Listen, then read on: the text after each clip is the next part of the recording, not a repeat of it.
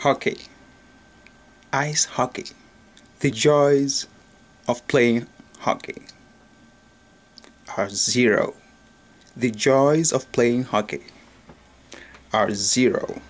But the joys of watching hockey are uncountable, so many, infinite. The fun in hockey is zero. Hockey is a very, very, very funny game. It looks like the guys are fighting over a Mexican girl. I love Mexican girls. Thus, the reason why I watch hockey once in a while.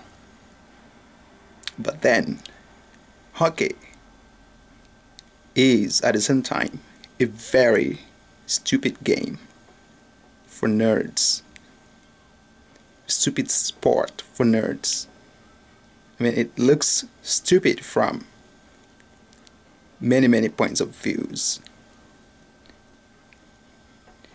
Hockey is intellectual.